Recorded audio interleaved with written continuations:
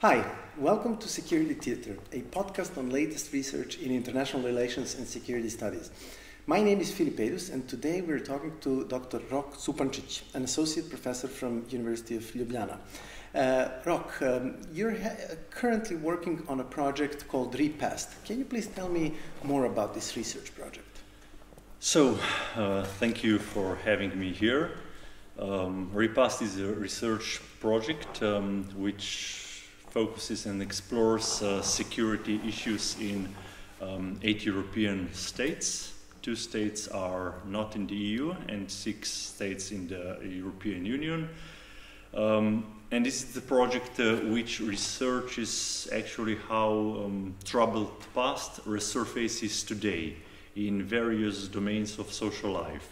So we apply the same methodology uh, and we as I said, in eight states, uh, and we research um, politics. Then we research uh, media, uh, media as a second field. Um, then we research arts and culture. And then uh, at the very end, uh, we also research history, so official history and oral history. Um, as you know, Europe is full of conflicts, um, which um, did not end actually. I mean, a lot of them ended in the past, but uh, um, they resurfaces they resurface today, um, and uh, impact on the impact on um, everyday life is uh, uh quite heavy, un, uh, unfortunately. And so this is basically um, this is basically about the research project. Mm -hmm. And recently you have published uh, a paper in Southeast European and Black Sea Studies, a very well-known journal uh, which is entitled Ethnic Distancing Through Aesthetics in Bosnia and Herzegovina Appraising the Limits of Art as a Peace Building Tool with a Socio Psychological Experiment. Wow, this sounds like a very exciting um, title and I'm sure paper. Can you tell us more uh, about it? Yeah, sure. Um, I, I, must say that this is uh, this is one of the outputs which I um, really uh, really liked. Not because we made it, but because it's it's really um, intriguing. Um, so what we did, um, as you know, in peace building and also with the international donors and so on, um, donors are quite eager to uh, fund the projects which, which are related to, uh, uh, which in this way or another uh, deal with arts and culture. Because, you know, a lot of people think that, okay, if um, people would uh, leave their, let's say, ethnic, narrow, narrowly defined identities and move um, up and transcend this, you know, let's say, um, earthy, earthy, earthy uh, identities and unite on this universalistic uh, level of arts and culture, that this would per se, you know, bring various, uh, let's say, ethnic groups together and they would no longer be interested in this, you know, ethno-political stuff.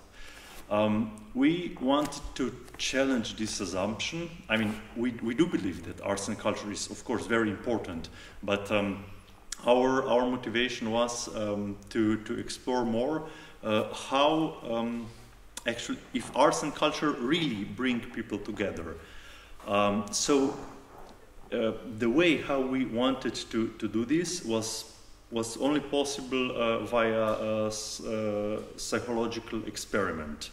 Um, you know, it's if, if uh, had we applied some, let's say, usual methods in uh, security studies and like, I don't know, um, surveys or interviews, and if we would ask people, so um, do you think that arts and culture bring people together? You know, we would get answers. Of course, we could publish a paper, but it's, I, I mean, we don't know what the value of this, this, this data uh, would be. So we employed, uh, we employed um, uh, social experiments, so to say. We relied on uh, literature in social psychology, of course. And um, uh, so what we did, we took one piece of art. Um, so uh, I invite everyone to read the paper, of course. Um, uh, and, and, this piece of art was then masked in ethnic. Um, we made we made this uh, piece of art uh, ethnic. Mm -hmm. So to be to be more uh, plastic, um, the picture, actually, it's uh, its installation, which was done by uh, by uh, a Serb, Bosnian Serb um, uh, artist uh, Mladen Miljanovic. Uh, he agreed that we can use his uh, arts for, for this experiment. So we masked this uh, piece of this installation into we, we yeah as I said we made it ethnic. So one group of students received information that this uh, installation was done uh, by Bosnian Serb author, uh, so Mladen Miljanovic, and it's, this was as, as it is. Then second group of students got information that this uh, piece of art was uh, done by uh, Mevludin Šehić. So a name which uh, invokes, okay, that author is Bosniak, right? And then the third group of students got information that uh, installation was done by uh, Ante Šimić uh, from Mostar, you know, from Široki Brijeg, actually. So the Croatian, the Croatian guy, right? And uh, we wanted to we wanted to learn whether Bosniaks would evaluate the Bosniak author higher, comparing to Serbian author or Croatian Croatian uh, Croatian artist. And um, what was what was uh, quite intriguing. Um, uh, we learned at the very end. We did experiment at the four or five universities uh, around Bosnia and Herzegovina, and we learned that people did not evaluate. Um, so that having the name did not invoke did not invoke any kind of um, let's say ethnic feelings. So in some in some examples we we even learned that. Uh, that Bosniaks evaluated a Serbian author better than if the author was Bosniak. And how do you explain these results? Actually, we uh, our uh, so numerous uh, we had like around 130 um, 130 um, um, participants. Um, this very last uh, um, re result um, we do we do not dare to explain because we don't think that the numerous numerous was high enough. Mm. So maybe it was just a coincidence and uh, we tried to do some additional statistical analysis, how this could be explained. But uh, as I said, uh, I, I do not dare to, to explain this. I don't know. Maybe it was pure, pure coincidence. And maybe the newer generations in Bosnia have different feelings towards um, ethnicities and, and uh, the conflicts of the past. Maybe it's also up to that. Yeah, I mean, we, we, uh, we would want that this would be the case, of course. Um, but uh, I have, I mean, we, we do have some data which point in this direction. Mm-hmm. Um, for example, let me explain that. Uh, so, how we did this experiment. Um, um, we separated uh, we separated um, uh, students uh, in, in the uh, amphitheater um, in different uh, groups, but they did not know what the motivation and what the rationale uh, of the social experiment uh, mm-hmm. was. Um, of course, this raises a couple of uh, ethical issues, which we had to mitigate, of course, mm-hmm. and we explain in the paper how, how we did this. Um, but uh, but um, what I wanted to say is that um, um, yes, people uh, the end, when, when we collected the, the, the um, questionnaires they, they, were given, and when we revealed what the experiment, uh, what the rational exp- experiment was, um, actually um, people were people were not even able to recall the name of the author. Mm-hmm. So you know, our presumption was that uh, when we would ask them, when they would not have information of the author, uh, in front of them anymore, that they would immediately say, okay, um, the installation was done by um, Mevludin Šehić or well, by Ante Šimić and so on. But when we asked the students, so who did the installation? Can you remember? You know, answers went in directions such as, um, I don't know, someone from Banja Luka or someone from Široki Brijeg or something like that. Mm-hmm. You know, there were really, I don't know, maybe five or six students who were able to, to, to recall the name. Mm-hmm. You know, so this this made us um, quite um, quite positive that ethnicity did not trigger the immediate reaction. Mm. Um, It's, it's, it's extremely interesting. Uh, uh, one explanation could be that uh, students and general population is able to compartmentalize when it comes to art ethnicity doesn't matter that much but when it comes to politics immediately the ethnic uh, buttons are pushed and uh, people kind of uh, start uh, noticing Mhm. uh, who is from which community Yeah, could be, wild could guess. be. Our intention is also that you know we wanted to uh, we wanted to do the same experiment. I mean the same methodology also in other countries of troubled past. Mhm. Uh, we already have talks to to do this kind of uh, research also in Kosovo. Mhm. You know where we believe that you know people would immediately um, remember. Um, so yeah, it was Gezim from Pristina, or I don't know, um, Marko from from Mitrovica. Um, that they would remember this, but we also thought that this would be the case also uh, regarding Bosnia, but it was not. Mm. So we would see. Excellent. Uh, definitely a recommendation to our uh, listeners and to our watchers to, to read the paper in full. Uh, now, the EU spends significant uh, resources on research and security. Uh, these days, a new EU research framework, Horizon Europe, which will set priorities for the next few years, will be published. Do you have any information on the research topics that will receive funding this time around?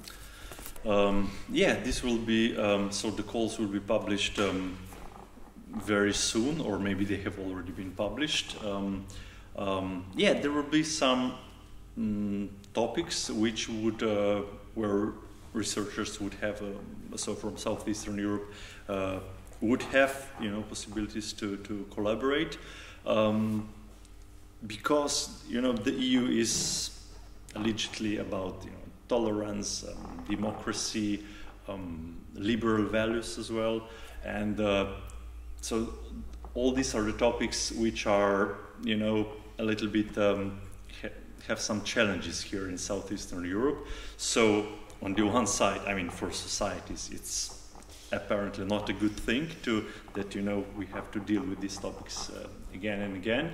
But on the other hand, from uh, from research perspective, so researchers um, could benefit from from disadvantages these societies are facing because partners from Central Europe, Western Europe um, would need you know research here.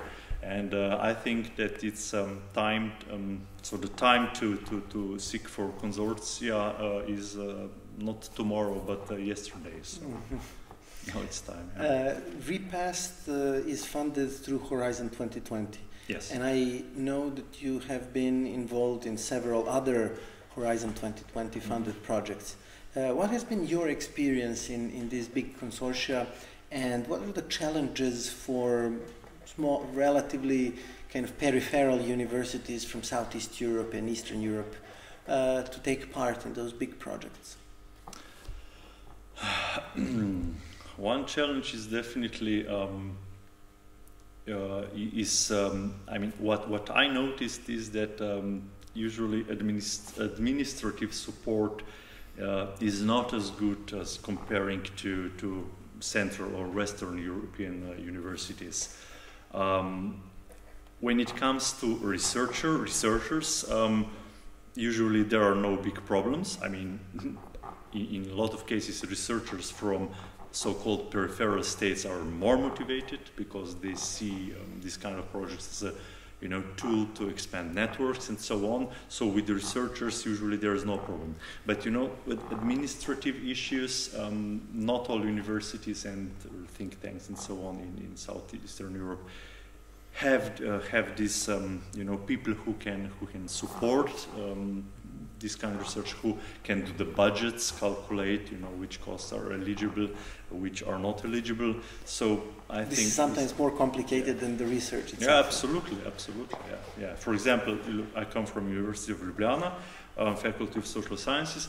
Uh, we have basically we have two people who are really well trained they know how to do stuff but you know they they they have to deal with i don't know 20 or 25 projects You know, so I need, so we need to wait a lot, a week or ten days, that they find time to, to you know, get to our uh, issues. But I don't know, comparing to Central, Western European states, you know, they have a lot of people who, who know, first, they know how to write proposals. They have people who are, you know, whose work is to support uh, research endeavors and the research projects and so on. Um, um, so I think uh, ministries of education, science, and so on um, should allocate uh, a lot of budget for this kind of, um, let's say, soft skills that uh, people learn how projects are written. Um, that I don't know, money is given to, um, or that money is secured for at the end proofreading, um, graphic material, and these kind of issues, which are at the end, you know, they bring two or three points, and you know, sometimes these two or three points are, you know, accepted or crucial for the success. Rejected. Yeah. yeah. Um, let me ask you a question about the policy or political engagement of scholars. Um, you come from Slovenia, and Slovenia has somewhat similar, seems to me, uh, kind of experience when it comes to this issue as, as, as Serbia. Uh, in Western Europe, and especially in the States, professors and researchers extremely rarely get involved in, in, in politics. Um, on the other hand, in Eastern Europe and in, in Serbia in particular, I'm sure for that, uh, many professors, uh, you know, either incline or tend to uh, work at some point either as ambassadors or they engage in political parties. Uh, many of them are activists uh, also in NGOs. Uh, where is the right balance between the two, in, in your view? yeah, that's, that's a good question. Um, usually we say that it is a good question when we don't know what to answer, right? But okay, um, I think, look, um, being um, politically engaged does not mean necessarily to go through these usual means of politics, like ambassadors or political parties and so on. I think scholars, um, I mean, especially us who are these insecurity issues, um, look, if we write an op-ed for article for, for newspaper, this is already some sort of engagement, mm-hmm. right? Furthermore, you know, if you do your job well as, as a professor here in the amphitheater, uh, you know, and you somehow I don't know, motivate students or, or uh, teach them how to do good research or teach them how I don't know that democracy is important thing. Of course, it has a lot of problems, right? But that you know this about values. You know, this is already another type of engagement. We don't need that all of us is on barricades shouting, you know, uh, down with this president or another president and so on. Um, but yeah, you know, as, as Pericles uh, put it, you know, if you don't want to engage with politics, politics will um, engage with you. So um, we cannot we cannot escape this. Perfect. Um, let us uh, round up with uh, a question that we intend to ask all our interlocutors in the future. Uh, and since you're the first interlocutor, you will be the first one whom, whom we will ask this question. Uh, based on your research uh, experience, what are some most exciting questions to look for in the future for security and peace, peace researchers? Mm-hmm. Where would you look at? What, what is your advice to mm-hmm. future researchers? What mm. to study? Mm, wow. Yeah, uh, with, the, with the development of uh, certain um, academic fields uh, in, in last five or ten years, um, I mean, you know, there are a lot of things that that could be researched. Um, but what what uh, drives me forward, uh, you know, is um, for example, there are some fields which are not um, which were a no-go zone 10 years ago.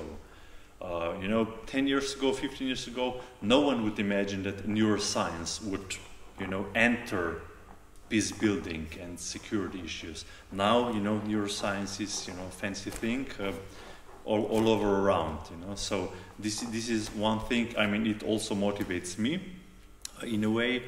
Um, then what else do we have?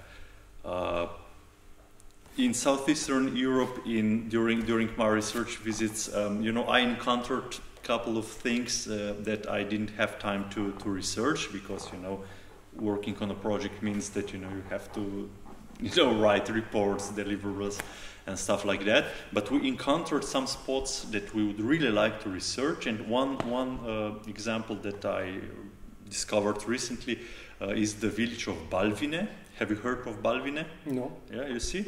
Um, so this is a village in uh, Republika Srpska, so in uh, Bosnia and Herzegovina. A village which has about, uh, I think, 1,000 inhabitants.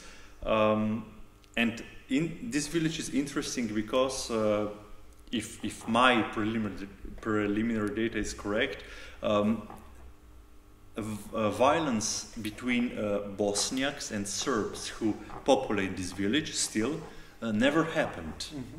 You know, so can you imagine that during the 90s, when you know Bosnia was and Herzegovina was was burning, um, people there were so Serbs were you know saving Bosniaks, um, you know, uh, which was very difficult. You know, they risked their their own lives, of course. But uh, if, as I said, if my data is correct, you know, people still live uh, very well with each other and so on. And you know how this is related to, to the troubled past. Um, if, if, if I understood the, the village correctly, um, is that during the Second World War, when the Ustasha were around, right, when they were trying to, you know, uh, massacre uh, Serbs, uh, it was Bosniaks who were saving Serbs mm. back then, 67 years ago. You know, and this goes through um, um, you know, from generation to generation, you know, that we live in Komshiluk and stuff like that, that we need to, to help each other. Um, of course, we thought the same for Bosnia 30 years ago, you know, that no war cannot happen here because, you know, we are brothers and sisters and so on, but the war happened.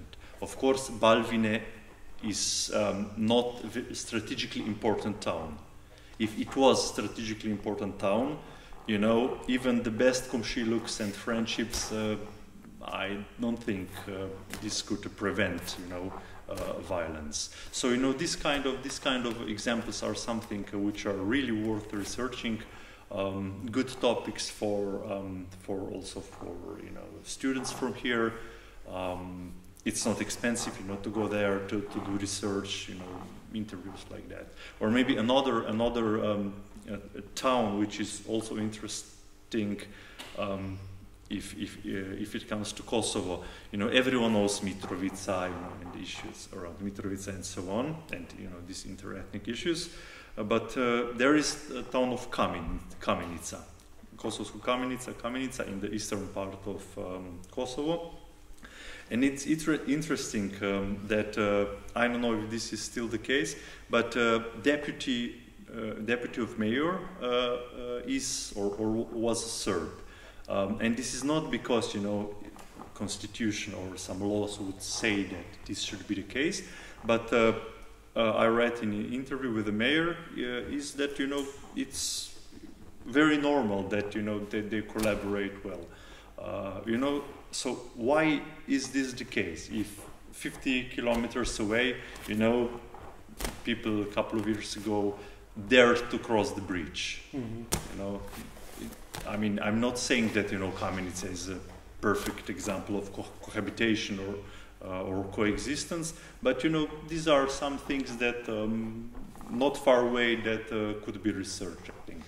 Thank you for uh, drawing our attention to these uh, amazing ideas. And it seems to me that all your research ideas are actually sparking hope and optimism, which I think is another a kind of positive function of uh, social scientists. We should not be only kind of uh, all doom and gloom, but also uh, find some uh, examples of cooperation and try to explain it.